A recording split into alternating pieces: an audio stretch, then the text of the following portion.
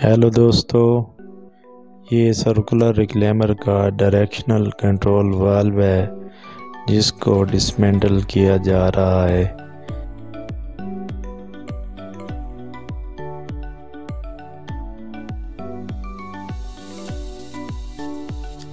सबसे पहले एल की बोल्ट्स इसके खोले जा रहे हैं।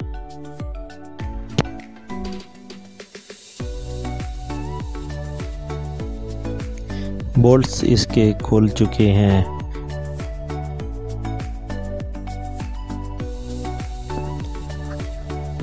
कार्ड को रिमूव किया जा रहा है। इसके कनेक्शन खोले जा रहे हैं। हम आपको प्रैक्टिकल ये वीडियो दिखाते हैं, जो मेंटेनेंस के रिलेटेड हों।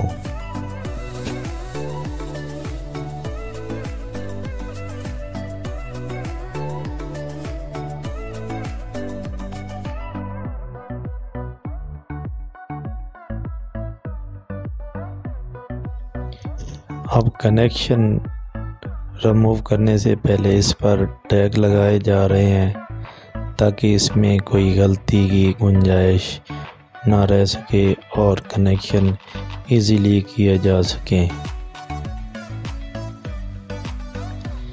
तो कनेक्शन अब खोले जा रहे हैं। डायरेक्शनल कंट्रोल वाल्व के कोयल्स उतारी जा रही हैं। ये दोनों वेल्स उतार दी गई हैं। अब ये डायरेक्शनल कंट्रोल वाल्व को उठाया जाएगा।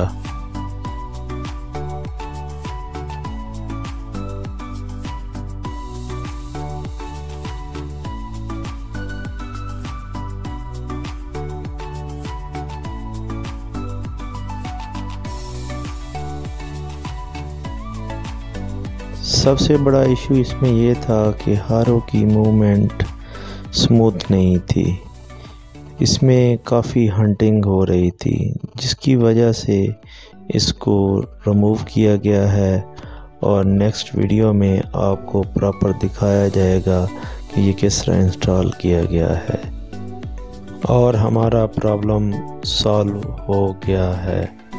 ये नेक्स्ट वीडियो में देखिएगा।